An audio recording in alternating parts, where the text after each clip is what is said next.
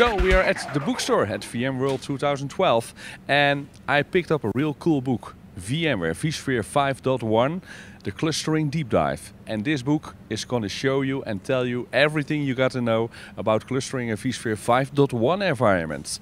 This book is written by Duncan Epping and Frank Denneman. And in fact, Frank Denneman is standing right next to me. He's one of the authors. And maybe you can tell me something more about the book, Frank. Okay, so like the other books, the vSphere 5 clustering deep dive, it contains HA and DRS. We actually rewritten the whole storage DRS chapter in this one, and we added a new chapter, store, uh, stretch clusters, for this one. Okay, and what's different? Uh, that, that, that's great. That's great. So it's completely updated. Yeah. So it contains the new features of the vSphere 5.1 stack.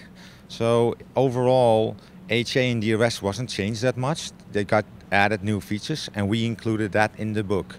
So the time we saved on, uh, instead of rewriting the whole chapter, we, uh, we uh, gave it for to the storage DRS chapter and the stretch clusters. Okay, great. So I got one question from a fellow blogger called Gabrie van Zanten, and he was asking me about the should and the must rule, and he was in the impression that the must rule uh, could sometimes under stress be stretched so a virtual machine should run on another host even though it must run on a sp specific host. Can you uh, give me some details? That would be a nice feature but doesn't work like that.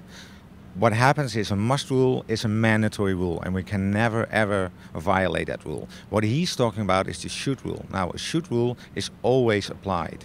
Uh, except when the utilization is 100% of all hosts. At that point in time, load balancing takes prevalence over affinity rules. And that's the beauty of should rules. So in total, should rules would always work unless you have a utilization problem. Great, great. So we're talking about DRS uh, affinity uh, right here. Uh, you gave us two books to give away. Yeah. What should people do to get a copy of this awesome book? Well, we're all fan of VMworld TV, right? And we would like the audience to actually vote for new ideas uh, cool ideas that you want to see the VMworld TV crew do in Barcelona. So give me, give us the most coolest idea or the wackiest idea to uh, allow Eric and uh, and Jeremy to run in Barcelona, basically. Cool. The VMworld in Barcelona coming up in October. Yeah. I'm looking forward to it. Many thanks for the copies. We jump to another video where the other the other author Duncan Epping is uh, uh, talking to a colleague. Can you explain? what the role of this book is within the uh, VMware. Yeah, so Ashish, uh, that Duncan is interviewing, is one of the lead engineers of DRS.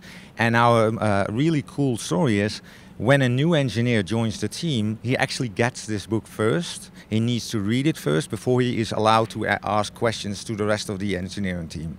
So this book is internally used as training material. Then it must be good. Let's take a look at the video. Hi, I'm here with Ashish. Um, Ashish did a session about uh, DRS yesterday, and I'm going to talk to him uh, how his session went. Uh, Ashish, please introduce yourself. Uh, hi, my name is Ashish Parekh. I work with the DRS team as an engineer. Okay, cool. And I heard you did a session about DRS yesterday. How did it go? Uh, the session went well. We had about 900 people show up. We were talking about advanced concepts of DRS, best practices, and a few future directions that the DRS team is planning on. Okay, that sounds really interesting. But one of the things that I'm interested in knowing is actually how you prepared yourself for this session. So we ran several ideas within our team to decide what the outline of the talk should be. We used your books and, and, and Frank's books that we've been uh, reading for a few years now. Every time you guys are nice enough to let us have a sneak peek at them. So we looked at them to come up with the outline of the talk. We wrote most of the code so we know what to fill in the details. Uh, of those sections, uh, how to fill, fill in those, those details. Uh, but we used your, your books and blogs to actually make sure that we were talking about the things that were relevant to our customers and that the right message got across. Okay, no, well, thanks. Um, I am going to make sure you get one of our uh, 5.1 books so you can prepare for next year. Oh, thank you. That, that'll help. Thanks. So that was a great video together with Duncan and Ashish. Um, what can we expect from you at the VMworld in Barcelona? Are you going to present a session? Yeah, I have two sessions to present. I'm going to do the uh, storage DRS architecting and design uh, session and a best practice around resource pools. Great, many thanks. Many thanks for the book. And people, send out those tweets and win a copy.